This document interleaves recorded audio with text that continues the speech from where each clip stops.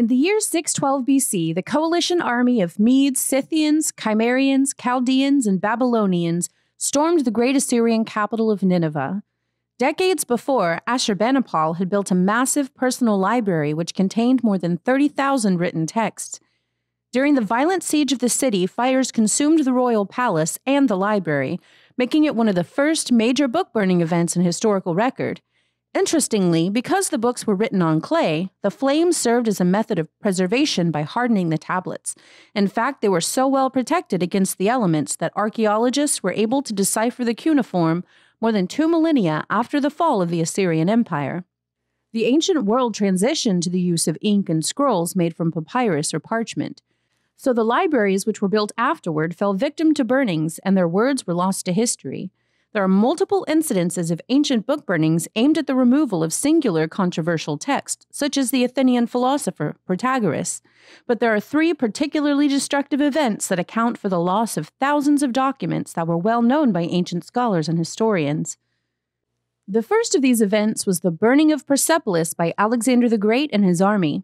When Alexander's troops reached the famed city, Darius had already fled into the wilderness, and the king of Macedonia declared himself ruler of the vast Persian Empire. According to Diodorus Siculus, the Greeks celebrated their victory in the streets of Persepolis and got very drunk. Thais, the lover of Ptolemy Soter, declared that they should burn the city to the ground in retaliation for Xerxes II's destruction of the Athenian Acropolis more than a century earlier. She led the intoxicated soldiers in a parade with torches in hand and is said to have been the first to start the blaze. While the mob didn't specifically target the royal archives, the scrolls became a casualty of war nonetheless. The palaces which housed the largest library of Zoroastrian texts were made from cedar wood and were quickly consumed by the fire. There were many sacred copies of the Avesta written with gold ink and countless more irreplaceable historical records. Thankfully, there were still some clay tablets used for the Achaemenid administration that were well preserved, like those of Ashurbanipal. The Warring States period and Eastern Zhou period of ancient China was a very dangerous and volatile time for its citizens. Those who had served as scholars under various administrations of previous regimes fled to the four corners of the empire and established private schools of study. From these groups came a flourishing of philosophies from which sprang Confucianism, Taoism, legalism, and a myriad of other influential ideologies. When Emperor Qin became ruler, he sought to actively suppress these schools and their adherents by burning the texts.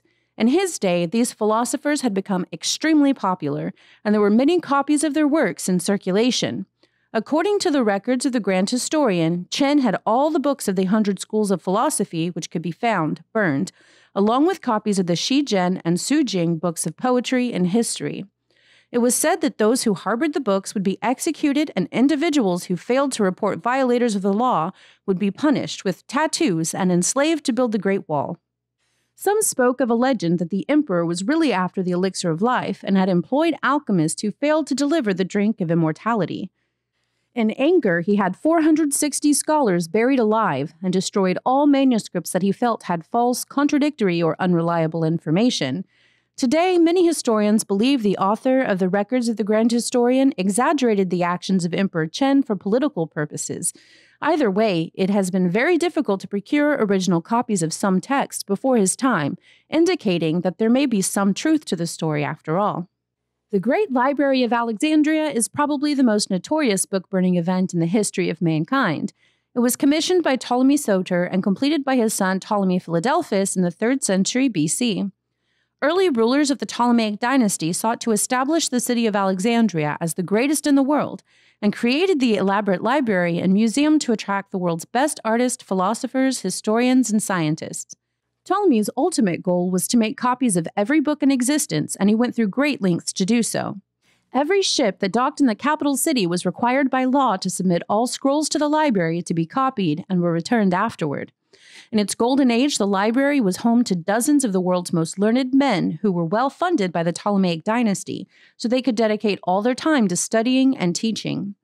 Some of these scholars were able to make great discoveries as a result, including establishing the circumference of the Earth, Archimedes' screw, the world's first steam engine, and many famous writings such as Argonautica. The decline of the library began well before it was destroyed by flames.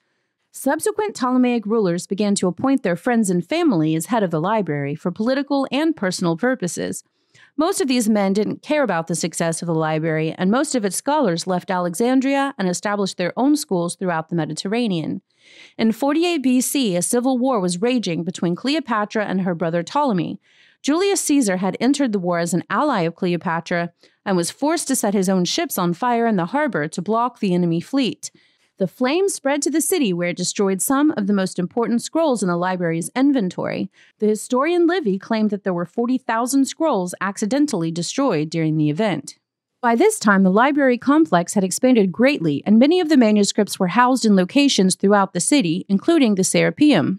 The surviving scrolls continued to be used for several centuries. Unfortunately, most of these texts were eventually destroyed in subsequent tragedies. It's likely that the rest of the main library was destroyed during various rebellions that broke out in the 3rd century AD. The Serapeum, which likely contained the remnants of the old collection, was vandalized and demolished in the year 391 under the direction of Theophilus, the leader of the Coptic Christians, and retaliation against the Neoplatonic philosophers which taught there. Some of the scrolls may have remained in the possession of Theon and his daughter Hypatia who established a well respected Neoplatonist school in Alexandria.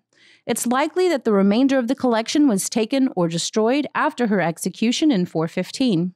What do you think the world would be like if we had retained the text from the libraries of Persepolis, the Hundred Schools of Thought, and Alexandria, let us know in the comments below. If you like this video and want to learn more about Hellenistic Egypt, ancient China, or the Persian Empire, then head over to the Great Courses Plus, where you can find in depth video lectures by leading professors on topics ranging from history and economics to creative writing and photography.